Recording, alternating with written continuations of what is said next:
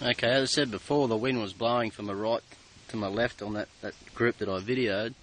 Um, it actually stopped blowing for about 10 minutes, so it allowed me to actually dial it in. And there is, um, I think there's six shots down the bottom in there, and there's five in the top two, and um, like that's 37 metres with uh, 25.4 JSBs.